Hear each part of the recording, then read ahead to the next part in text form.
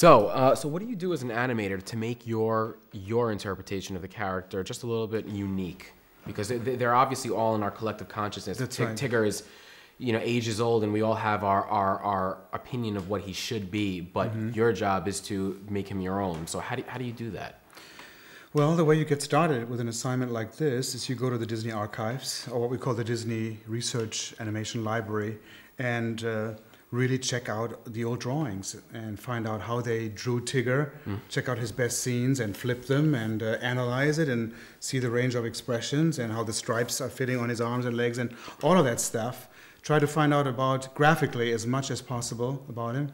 And then it's time to put that aside, look at the storyboard and see what the business is, and then make that, that your own, you know, based on, on the story. So you, you take what's been done in terms of the way he looks, but then you can still add expressions and invent your own things with them, you know. Uh, uh, but it's, it's absolutely important that you that as an a- animator you put your own mark onto the character. You have to. hmm What's it like working with uh, with John Lasseter on something like this, who obviously is a very opinionated, uh, uh, you know, uh, uh, creative, you know, person, and uh, and everyone involved is so creative because you're all artists. Um, what's that like? What kind of input did he give?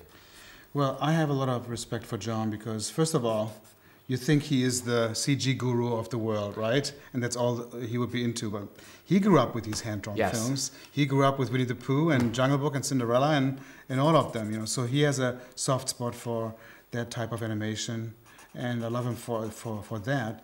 But uh, also, John is such a amazing story person.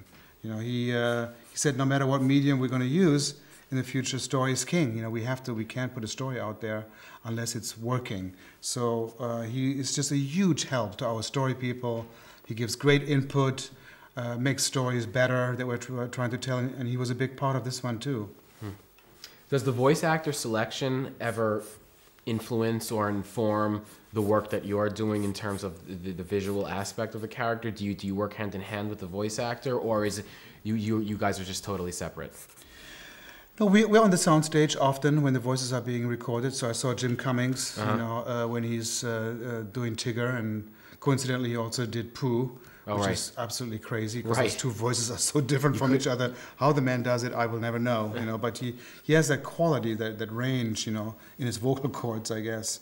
Um, no, I mean, a, a good performance, I think, period, is a big, big uh, springboard for us, for the animators. If the voice and that particular um, recording has, has color, has life, then our job is half done. And it is a half and half, I guess, because even though we're, we call ourselves actors, uh, animators call themselves actors with a pencil, but the voice is done by somebody else, you know. So it's, it's this odd mix where somebody else does the vocal acting and I do the visual acting. Right. You know, it's, it's Very how, it, interesting. how it works. But of course, the voices are always recorded first to be an inspiration for us, for the animation. Oh, okay. Anything that you're working on next? You're, you're a Disney veteran. Is there anything projects that you're involved with right now?